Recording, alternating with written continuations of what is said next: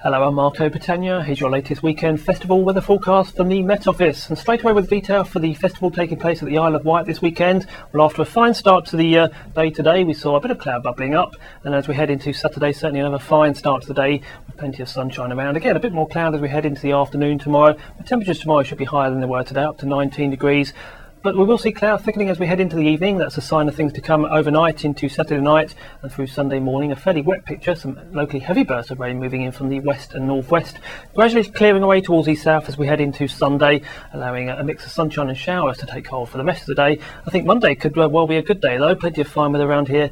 Temperatures up to 19 Celsius, that's 66 in Fahrenheit. As to the events taking place on the Hackney Marshes, well, certainly Saturday looks like being the better of the two weekend days.